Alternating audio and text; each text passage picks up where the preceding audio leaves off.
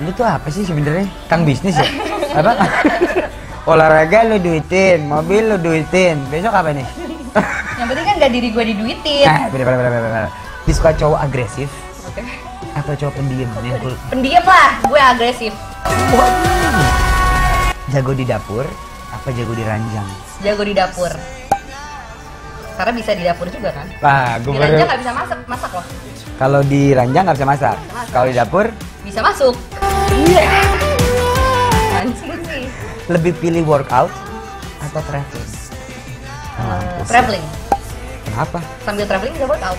Kalau workout Sambil traveling. Otak lo semua ya traveling gua workout.